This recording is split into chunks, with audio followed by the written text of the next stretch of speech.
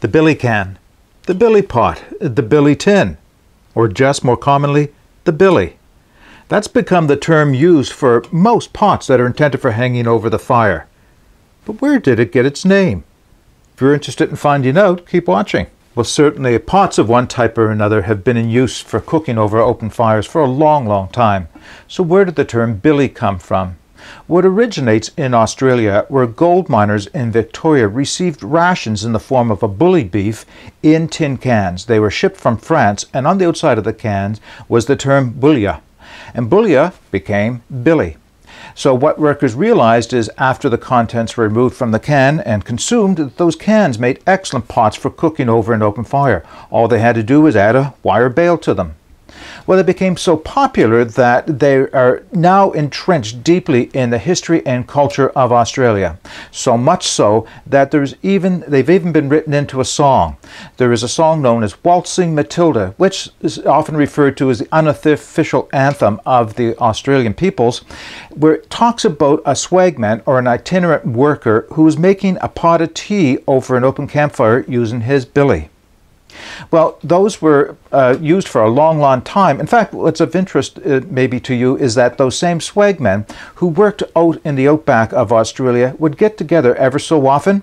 And uh, when they did so, they often had competitions. And one of the competitions they would have was how quickly could they bring water to a boil in their billy tin.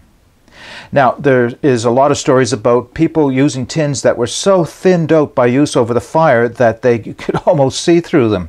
But being that thin, they conducted heat very quick. So a thinned out tin billy tin was prized as being something that might win you the competition.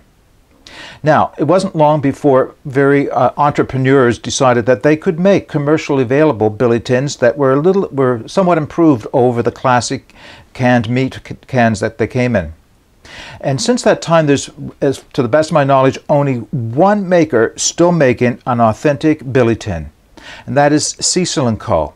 So I have two Cecil & Co. Billy tins here with me that I want to share with you. So as I just mentioned, I do have two of the authentic Billy tins produced by Cecil & Co. out of Australia.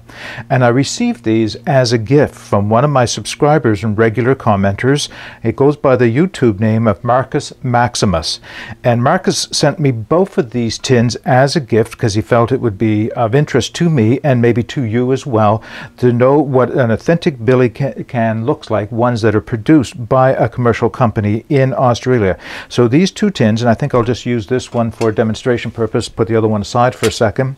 These two tins are made in Australia, as I mentioned, by Cecil and Co. And of course, I'm going to put the information where you can find out more about purchasing these tins in the uh, video description below.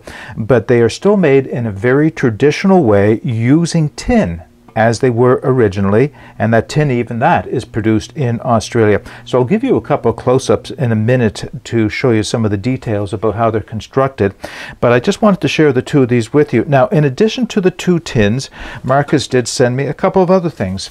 He sent this IKEA utensil strainer that was, of course, turned into a hobo stove by putting holes in both sides for feeding wood in, because he discovered that the smaller of the two tins would fit inside this perfectly.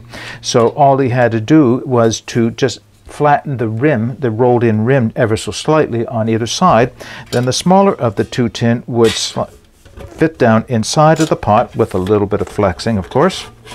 And the point at which the bail is attached, this little loop area here, that's why he flattened it out, so that it would fit right in past. A snug, nice, flat fit. Now, along with those two items, he did set a couple of stainless steel skewers, which I can use with the IKEA um, utensil strainer to either hold the pot on top or to use with a Trangia burner inside. And finally, he also sent a small canvas uh, sack that I could keep my pot or keep my bag clean when my pot gets dirty from being used over the fire. Okay, one thing I wanted to mention about these, let me get this out of the utensil strainer is the two pots that I have are the smallest two in the lineup made by Cecil & Co. This is the number one pot and this is the number two pot. They're actually stamped like that on top. The number one pot is one quart in size. The number two pot is one and a half quarts in size. And I understand they have pots available right up to uh, number nine. Don't ask me what the volume is, but they have a number nine pot. So these are the two smaller pots in size.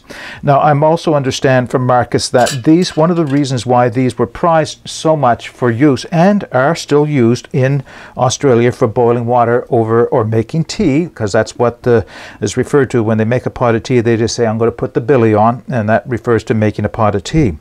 One of the things that makes them so popular besides the fact that they are made of tin and therefore very lightweight, is the size and dimensions of them. Apparently, it's this ratio of height to width that works so well for boiling water over a fire.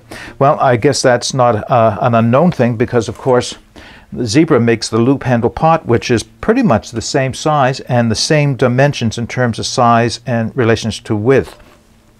Okay, I said I would give you a little bit of a close-up, so let me do that now. All right, as, as, I mentioned, these are made from tin, and they look like a tin can, because in fact, that's what they are. They have a pressed fit on the bottom.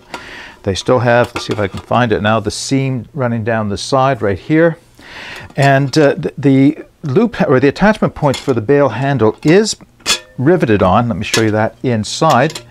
You see the where it is riveted on. And one of the other things that's unique about this style pot is the lid itself, because of course that's what differs it from just a, a, can that you might use from that had food inside of it. It does have a stand up a little bit of a ring right here for, for reaching in on and get it off while it's over the fire. But look how deep this lip is, which sits down inside the pot.